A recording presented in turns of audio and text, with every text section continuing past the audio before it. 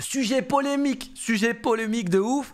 On va parler de scènes féminines et notamment des personnes transgenres, transsexuelles euh, qui participent, qui sont autorisées à participer donc aux compétitions féminines. Parce qu'en fait aujourd'hui, ils ont changé les noms. Par exemple sur Valorant, c'est les VCT Game Changer. Voilà, donc euh, changer, donc euh, le changement, tu vois, le changement des, des valeurs, le changement de la nouvelle génération. Pour CS, ça s'appelle l'ESL Impact. Donc on veut de l'impact, on veut impacter la prochaine génération, générationnelle. Donc c'est les filles qui jouent, mais aussi toutes les personnes euh, eh bien, euh, marginalisées, les personnes qui sont euh, boudées à droite, boudées à gauche, qui n'ont pas de portée médiatique, et donc on les autorise à participer à ces tournois-là. Et là, moi, je vais le dire, hein, je ne suis pas transophobe. Si je m'exprime maladroitement parce que je ne suis pas une personne transgenre, éduquée, cultivée dans ces domaines-là, je vous présente mes excuses par avance. Voilà, permettez-moi de commettre des erreurs, de maladresse, et parce que je ne veux offenser personne. Ce n'est pas mon but. Je tiens à le préciser encore une fois. Et dans les commentaires, disclaimer, comportez-vous respectueusement parce que je censure tout le monde. S'il n'y a pas d'insulte ou je ne sais quoi. Je vais vous donner mon point de vue et je vais pousser mon coup de gueule. Attention, je vais pousser mon coup de gueule. Parce qu'on n'est pas là pour faire de la langue de bois non plus. Vous kiffez les skins CSGO On kiffe tous les skins CSGO. Tu peux te faire plaisir avec K-Drop et ouvrir quelques caisses. Tu peux aussi te faire plaisir avec des upgrades. Mais attention, c'est risqué. Code Malek CSGO sur K-Drop et merci à eux pour l'intro sponsorisée. Voici euh, le S1 Impact qui, qui a été joué euh, donc cette semaine. Et voici donc les meilleures joueuses euh, de l'ESL Impact. Et vous pouvez voir par exemple qu'on a une personne qui s'appelle Empathie, d'accord? En plus, elle porte vraiment bien son, son pseudo, peut-être qu'elle est, voilà, elle est dans son truc de euh, euh, discriminer et tout, et elle a même pris un pseudo, voilà. Et c'est une personne transgenre. C'est une personne transgenre, donc c'est une fille. C'est une fille transgenre qui euh, tape à 1,59 de rating, qui a lavé les fesses de tout le monde sur l'événement. je précise que cette personne n'est pas championne. Voilà. Les championnes, c'est Fly Request Red. Elle, elle a perdu justement en finale, cette personne qui a le meilleur rating. Donc elle joue chez Shimer, donc une équipe euh, euh, nord-américaine. De toute façon, la scène féminine aujourd'hui, c'est que, que les États-Unis. En Europe, euh, c'est mort de chez mort. Elles sont toutes, elles sont toutes parties euh, sur Valorant. Donc, elles ont gagné un petit cash prize plus euh, le slot, ce qui était important. Et donc, c'est Fly Request qui ont gagné avec KOD, notamment, notre joueuse française, comme vous pouvez voir, et avec qui j'ai déjà échangé, qui est une super personne et qui est également dans le top 3 voilà, de ce classement-là. Maintenant, mon carton rouge, mon carton rouge, il va venir là. Parce que c'est une question que je vais soulever. C'est un point de débat que je vais soulever. C'est une interrogation que j'ai, ok? Et je le dis en connaissance de cause, parce que j'ai une expérience liée à ça. Avec 3D Max, nous avions une équipe féminine toute l'année 2023. Nous avons participé au VCT Game Changer. Et euh, lors des qualifications, on est passé à un match de la qualification des VCT. Et je peux vous garantir que quand tu es en VCT, l'argent, c'est pas le même. Donc là, on, continue d'être des mendiants euh, chez 3D. C'est bien dommage. Et euh, nous avons été euh, laminés par une équipe constituée de filles, mais également de personnes transgenres. donc vous allez comprendre pourquoi le mal, je l'ai ressenti. Les filles étaient dévastées. Dévastées. Après l'élimination contre ces personnes-là qui nous ont arrachés, hein, sont meilleurs. GG, merci, au revoir. Les filles étaient dévastées, aux larmes. Voilà. Euh, je ne vais pas faire de, de, de, de, stéréotypes en mode les filles, c'est des fragiles, les mecs, on n'est pas des fragiles. Mais là, pour le coup, j'avais j'avais à ma disposition des filles qui étaient émotionnellement atteintes. Elles étaient passionnées par le jeu. Il y en a qui avaient pris un gros pari de se mettre au chômage pour euh, miser tout dans l'e-sport et que cette année 2023, ça allait être vraiment euh, euh, un, changement dans leur vie et ce genre de trucs. Et au final, c'est une désillusion folle. Et elles en ont pris un coup au moral, quoi. Elles étaient en pleurs, en larmes. Elles se sentaient, elles se sentaient comment dire, volées, tu vois, un peu en mode on, nous a déshérité de notre dû et ce genre de trucs parce que ces personnes-là, eh bien, sont meilleures que nous et nous défoncent en fait. Euh, le point qu'on veut soulever, c'est que euh, les facultés cognitives, il n'y a pas de facultés athlétiques, etc. Les hommes et les femmes sont totalement égaux. une meuf peut aller arracher un mec. Je le pense. Je le pense fortement. Sauf que ça fait 20 ans que dans l'e-sport, c'est développé au niveau de la scène euh, mixte. Pas que homme, mixte. Mais comme chez les mecs, depuis petit, on est plus dans le jeu vidéo, on se la donne plus, on est plus déter et ce genre de trucs de fil en aiguille, il y a toujours eu une représentation masculine beaucoup plus importante. Et donc, on a de l'avance sur les meufs et on arrache les meufs tout le temps. Et donc, et donc, et donc, et donc, les meufs de 3D Max étaient dévastées, en pleurs et ce genre de trucs. Et donc, il y a ce sentiment d'injustice, de mais elle nous défonce et tout machin. C'est pas grave. Et là encore une fois, on voit aujourd'hui euh, l'apparition de personnes euh, transgenres. Donc c'est pour ça que c'est ma question de débat que je vais soulever. C'est que est-ce qu'il faudrait euh, une compétition donc masculine mixte, comme on a le cas, parce que le Major, euh, le SL Pro League, etc., tout ce qu'on a avec Simple, Zibo, etc., c'est mixte. Les meufs y participent. C'est juste qu'elles se font défoncer.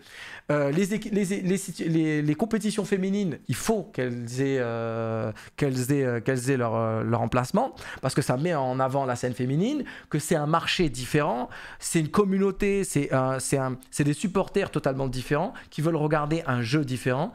Et, et est-ce qu'il faut une troisième compétition pour les gens euh, marginalisés.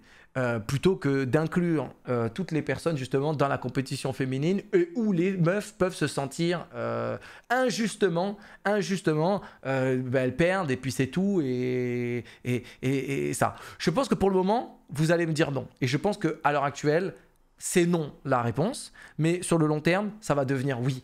Parce que si au niveau de représentement, on va avoir sur 100% de joueuses euh, et de joueurs, euh, donc euh, joueuses, joueurs, joueuses transgenres, etc., si on va avoir un taux de participation de 20-30% qui va se transformer en 40, 50, 60, 70%, parce que c'est les meilleurs qui gagnent, et forcément, bah, c'est elles qui vont tout défoncer, bah, c'est compliqué. Deuxième chose, deuxième chose, les vérifications, l'administration, comment ça se passe? Les processus sont très longs. En France, je, n'émets aucun doute qu'en France, ce soit fait de manière carrée, que euh, tu dois aller à la mairie, à la préfecture, euh, chez des médecins, te faire suivre pour, pour entamer et euh, finir une procédure de changement euh, justement de genre.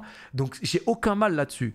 Mais quand tu joues contre des Suédoises, des Polonaises, des Ukrainiennes, des Lituaniennes, des, dans d'autres pays où euh, les vérifications ne sont pas aussi poussées qu'en France et ne sont pas aussi exigeantes qu'en France, est-ce qu'on peut réclamer une carte d'identité, un justificatif qui détermine le fait que tu es changé de genre ou pas? Parce que je parle par expérience, hein. c'est quelque chose que j'ai vécu. J'ai les joueuses qui se font arracher elle pleure. Euh, je fais aucune réclamation, je dis GG, merci, au revoir. Euh, parce qu'on est fair play.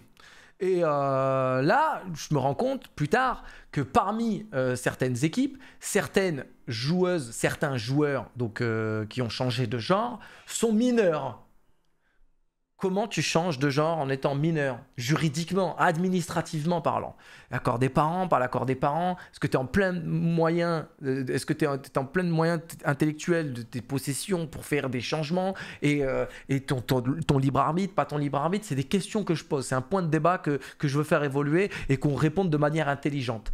Euh, parce que euh, si il euh, y a un petit garçon, euh, il rêve de, jouer, de devenir une star, de tout, de tout arracher, et qui réussit pas ce gamin, est-ce que vous croyez pas qu'il va y avoir des dérives?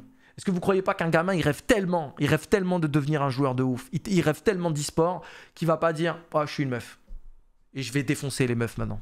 Est-ce que vous croyez pas que ça va arriver? Vous croyez que ça n'arrivera pas? Vous êtes délusionnal. Je vous le dis, vous êtes délusionnal. Il y a des mecs qui, et des meufs qui trichent, qui cheatent. Il y a des mecs qui font du match fixing. Il y a des mecs qui euh, coach, euh, coach abuse. Euh, du shit, il y en a partout. Tous les moyens sont bons pour aller récolter la part du gain. Dans tous les cas. Il y a des gens dehors, ils rêvent tellement de la vie de rêve qu'ils vendent de la drogue. Vous croyez qu'ils vont pas dire Ouais, bah, je, suis, une meuf Vous croyez que ça n'arrivera pas? Croyez que ça n'arrivera pas Et que ça va desservir en plus la cause des, des, personnes transgenres marginalisées que tout le monde va les mettre dans le même panier. Ah, regardez, vous nous prenez pour des cons, vous nous mentez, ce genre de trucs. C'est des questions, encore une fois, que, que là, je, je, pose. Et par expérience, parce que j'ai peut-être ressenti ce sentiment d'injustice. Parce que j'avais des filles que je connaissais, que j'ai rencontrées. J'ai fait un vlog avec elles sur ma chaîne Valorant. Pour aller le voir, c'est exceptionnel. C'est des amours. J'ai apprécié les rencontrer. J'ai apprécié participer, faire, faire du contenu avec elles et ce genre de Et donc, je me suis attaché à ces personnes-là. Et quand j'ai vu la tristesse euh, qu'elles avaient eue, et parce que je connais le parcours par lequel elles sont passées, j'ai eu ce sentiment d'injustice. J'ai eu ce sentiment d'injustice. On a fermé notre gueule, on est fair play, que le meilleur gagne. Mais là, aujourd'hui, je soulève ces points-là. Euh, parce que j'ai pas porté de réclamation, j'ai pas demandé euh, des justifications qui font que oui, c'est vrai, bah t'es une fille, t'es un garçon, non t'es plus une fille, non t'es un garçon. Mais il faut comprendre que c'est des points qu'il faut développer. Parce que dans les réseaux sociaux aujourd'hui, c'est que des commentaires transophobes. C'est que des commentaires transophobes. Je, ne veux même pas vous montrer euh, le, tweet que j'ai fait en mode classement des meilleures joueuses de la salle Impact, la compétition la plus importante de la scène féminine. Je vous montre même pas les commentaires des gens. Je vous les montre même pas. C'est horrible. Vraiment, c'est horrible. C'est horrible. Les gens ne se rendent pas compte du mal qu'ils font. Et euh, je me désolidarise bien évidemment des commentaires. Euh, voilà, c'est ma communauté, donc forcément. Non, non, non. Les gens font ce qu'ils veulent, ils agissent en leur âme et conscience. Et c'est eux qui ne tenaient pas responsables des, euh, des, entités, un club, une marque, un créateur de contenu, une personne, des agissements de personnes pour qui ils sont suivis. Tu vois, moi j'aime Zidane. J'aime Zidane, j'aime Mbappé, j'aime Victor Wenbanyama, là je suis en train de le suivre à fond si je fais une dinguerie, euh, Wenbanyama, il va être euh, déchu de ses fonctions. Euh, bonjour, tu quittes la NBA Bah non, ça n'arrivera pas. Sauf qu'aujourd'hui, c'est ça en fait. C'est le tribunal populaire. Tu as envie d'octroyer des, comportements que tu n'as pas, des responsabilités que tu n'as jamais eues, des agissements que tu ne penses même pas. Mais c'est le jeu de la moralité et des réseaux sociaux qui est nauséabond aujourd'hui et ça me dégoûte. Donc, moi, c'est ce débat-là que je tiens à ouvrir pour le bien de la communauté e-sport en fait, pour le bien de l'e-sport. Parce que je vous le dis, parlons business, parlons business, parlons argent, parlons rentabilité. Aujourd'hui, l'e-sport, ça va dépasser la Formule 1, ça va dépasser tellement de sports traditionnels parce que, voilà, il y a une possibilité folle. Si tu as des compétitions garçons, des compétitions filles et des compétitions pour les gens non marginalisés, donc pas que transgenres, tu vois. Euh, même, euh, tu as les Jeux paralympiques, donc pourquoi pas faire euh, également mettre en avant des personnes. C'est quelque chose de bien. Un jeu vidéo, c'est un jeu vidéo. Et on, on s'en fiche, nous. Quand quelqu'un, il est fort, il est fort et on va le suivre. Et ça va être bien pour le business. Les marques, les marques, vont vouloir, elles vont vouloir sponsoriser. Ah putain, vous avez des personnes handicapées Oh, c'est bien ça, c'est bien ça, ça on va vendre, ça on va vendre. Eh oui, c'est comme ça qu'ils pensent les gens, c'est pas moi, c'est comme ça qu'ils pensent les gens. C'est tout, tout, tout le monde est un produit marketing. Ah, t'es une personne trans ah, t'es une fille, garçon, t'as les cheveux mais t'as pas les cheveux, t'as quand même de la barbe et tout. Ah, c'est bien ça, ça c'est bien. Tu mets des jupes mais tu mets aussi des pantalons. C'est bien ça pour les marques. C'est comme ça que ces gens-là ils pensent. Voilà, à, vous marketer, à, vous monétiser et après en tirer euh, quelque chose de positif. Et euh, si on parle que d'un point de vue business, le fait d'avoir toutes ces communautés représentées, bah, c'est le cas. Et c'est pareil euh, dans juste le garçon, juste les filles, avec euh, un noir, un arabe, un juif, un blanc, euh, des multinationalités, ce genre de trucs. Hein. Une équipe 100% française vendra moins qu'une équipe qui est full européenne, parce que tu touches tous les marchés européens. Une équipe internationalisée, tu fais du sponsoring beaucoup plus gros. Hein. Laissez-moi vous apprendre un petit peu dans le domaine de l'e-sport comment ça se passe. J'espère bien évidemment ne rien vous apprendre d'extraordinaire, mais si demain Vitality tape à la porte d'un sponsor, euh, ils vont dire bah voilà, on a un joueur français, on a un joueur danois, on a un joueur euh, suédois, on a des joueurs israéliens, on a des joueurs américains. Ah oui, donc c'est euh, on parle à Nike Global, tu vois, le head de Global, on parle mondialement voilà, c'est un chinois, c'est un coréen, tu parles à toutes les langues. Si tu parles que, la France, bah, tu parles à toute la francophonie et puis c'est tout. Et encore, pas forcément toute la francophonie, parce que le marché canadien, c'est différent, le marché euh, de l'Afrique francophone est différent, et même dans l'Europe, c'est différent. Des fois, la Suisse n'est pas inclus dedans et ce genre de trucs. Pour ceux qui connaissent un petit peu le marketing, euh, avec les pôles EMEA, Europe, euh, que France, que Italie et ce genre de trucs. Donc il faut bien comprendre que même marketingment parlant, c'est quelque chose de positif en fait d'avoir beaucoup de représentation. Ça veut dire que si tu peux mettre la main aujourd'hui euh, sur une personne noire, il faut sauter dessus en fait. Parce que les gens vont dire Oh putain, dans l'e-sport, il n'y en a pas beaucoup. Tac, tu vas être notre objet de machin. Et c'est Oh putain, un arabe. Ah, ça c'est super. Aujourd'hui, c'est ça en fait. C'est la discrimination positive et, euh, et on est dans ce délire-là. Donc je veux pas faire de politique. Je veux heurter personne. Si je suis maladroit, vraiment, je vous, je vous présente profondément mes excuses parce que c'est pas mon intention. Je soulève des points d'interrogation que j'ai en moi. Je soulève des points d'interrogation aussi euh, objective parce que c'est un sujet d'actualité et que je vois les comportements. Je ne souhaite éduquer absolument personne. Je vous donne juste des outils qui vont vous permettre de réfléchir différemment parce que c'est des points de vue que vous n'aviez pas avant. Parce que vous ne vous placez pas d'un point de vue d'un créateur de contenu, d'un point de vue d'un joueur, d'un point de vue d'une marque, d'un point de vue euh, d'un club, d'un point de vue de, des personnes, des personnes tout simplement qui ont joué. La joueuse, etc. Euh, t'es une meuf, euh, tu, tu, te sens pas bien comme t'es, tu veux être un garçon, tu décides d'être donc un garçon ou inversement. Et comment tu fais? T'as un mal-être On t'interdit des compétitions? Faut que ces gens-là aient le droit de vivre aussi. Hein. Enfin bon, en tout cas, c'est ce que je pense. Hein. Je vous le dis, il n'y a pas de langue de bois. Et après, on vit comme on, vit en fait. C'est je laisse vivre les gens. C'est pas moi, ouais, mais Malek, t'autorises, ouais, t'es un malade. Non, non, non ces personnes-là feront ce qu'elles veulent. Et moi, je fais ce que je veux. Voilà, moi, je suis un garçon, euh, je m'appelle Malek, euh, euh, voilà, je, suis bien dans ma peau. J'aimerais bien avoir des abdos et des muscles, mais eh ben non, je fais que manger du Nutella. Tu veux que je te dise quoi? On a ce qu'on a.